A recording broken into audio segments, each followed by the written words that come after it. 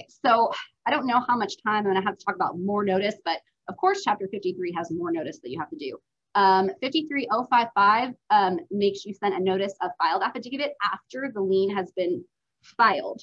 Um, it doesn't necessarily have to be a copy of the recorded lien, I think is the big thing to, to remember here. But if you've sent the lien for filing, you need to uh, send a copy uh, to the owner and uh, letting them know that this lien has been filed in the property records. And it has to go by the fifth date after the day the affidavit was filed with the county clerk.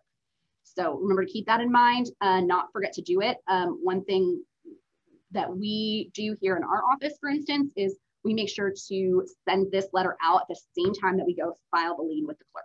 You can do that. It doesn't have to be, like I said, you don't have to send them a copy of the recorded lien. So it just has to be a copy of the lien. You can see that the statute doesn't say anything about it needing to be a recorded lien. Okay, I'm gonna touch on contractual retainage just a little bit as it pertains to notice. Um, so, you know, some of these uh, contracts, uh, they will have contractual retainage, meaning that the owner has to uh, retain a certain amount of funds, um, you know, in case, you know, things are not, don't get paid, you know, there's at least this fund. Um, and there are separate notices that need to actually be sent in order to uh, be able to get to this retainage. Um, I think that um, what a lot of people, a lot of people don't really um, understand that with contractual retainage and with statutory retainage, it's almost like a lien on a whole separate thing. You've got your lien on the property, right, that we just talked about. And now what we have to basically do is go and make sure that we have a proper lien on this retainage, this cash that they're holding.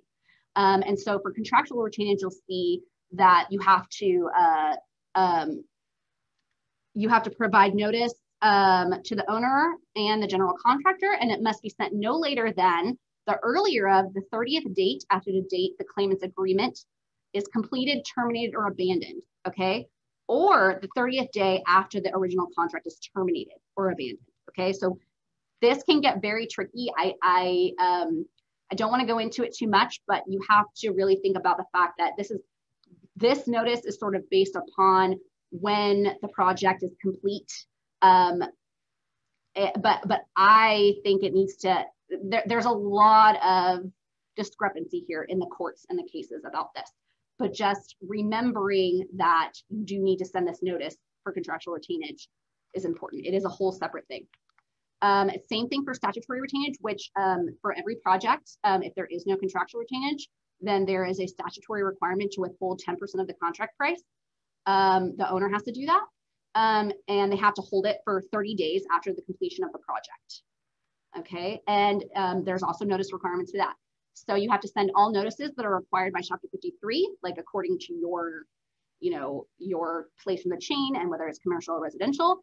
And you have to file an affidavit claiming a, a lien not later than the 30th day after the earliest of the date the work is completed, the original contract is terminated, or the original contractor abandons performance under the original contract. So, like I said, this date is actually going to, in a lot of cases, move up your file your your lien filing deadline um, earlier than it would be for, you know, the 15th day of the fourth month. And this is really where a lot of people kind of get caught. Um, you're going to still have a good lien on the property, but if it's not filed by this 30th date because maybe you did your work really late in the project and your you know your your lien can still be filed you know the 15th day of the fourth month you're not going to be able to have access to this retainage amount and I was just involved in a case that way that that is exactly the way the court decided it.